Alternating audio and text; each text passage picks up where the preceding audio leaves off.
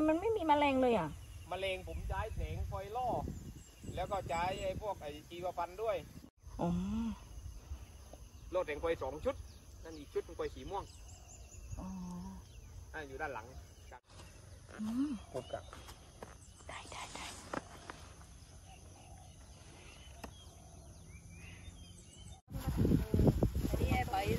อันนี้กันไหมไม้ไม้กับไม้ไม่เดี๋ยวมันคืนมันคืน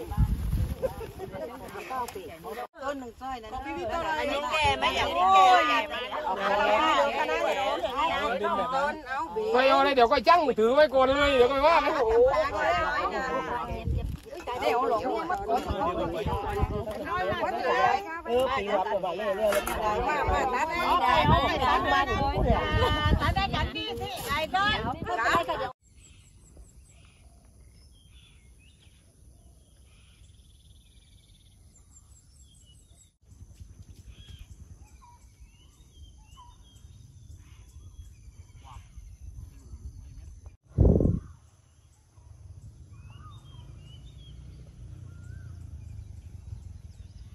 จะครึ่งกิโลกิโลกว่าได้กว่าไปตามนั้นบอก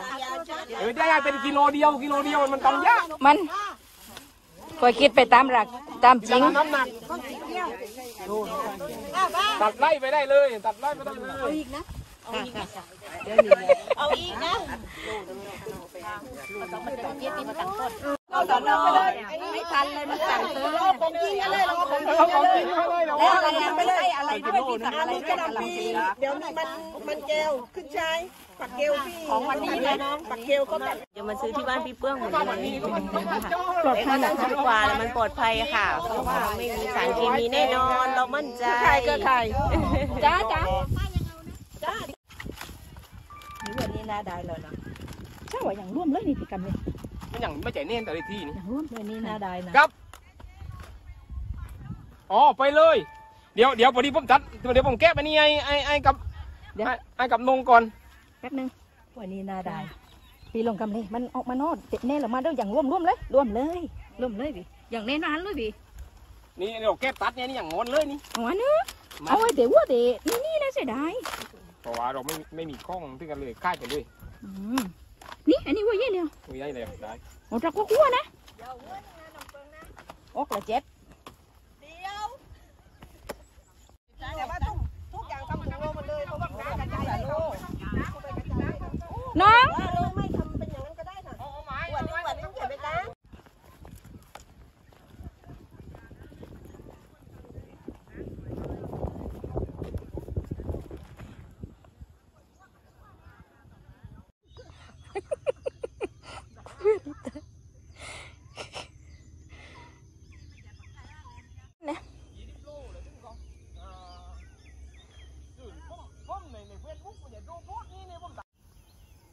เนี่ยย่ามันจะขึ้นเรียวมาก่อนกุมปฏิโลกเลย